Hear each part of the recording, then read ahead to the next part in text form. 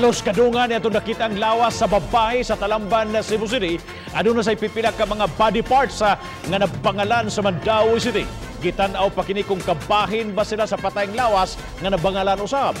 Ang report ni Nico Serino. Biyernes unang nabangalan sa kadagatan sa Luok, Mandawi City ang putol nga kamot. Samtang pagkasabado, laing body part ang nabangalan nga nag-utaw-utaw sab sa kadagatan. Nasuta nga putol nga parte sab kini sa tiil sa tao. Gisibot pa kini sa nakakita aron mahipos. Duda sa kapulisan iya sa babay ang maong patayng lawas gumikan sa nail polish sa tudlo sa tiil. Babae gila siya. Ang ang ang ang kuan, ang tagiya ana. Mm. Muna nag-coordinate mi sa taga Talamban katong ilang nakita Gidala na ang nakitaan nga body parts sa funeraria sa Cebu City. Kini aron masusi, lakip sab sa napalgan nga patayng lawas sa usa ka babay sa sapa sa barangay Talamban kung gikan raba sa usa ka biktima.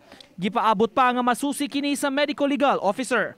So angat to among gitapok kay para i kuan to i-process to sa taga Suko. Ah, nag-request mig DNA para ambot kuan, ambot nga parts of body ma ma-determine.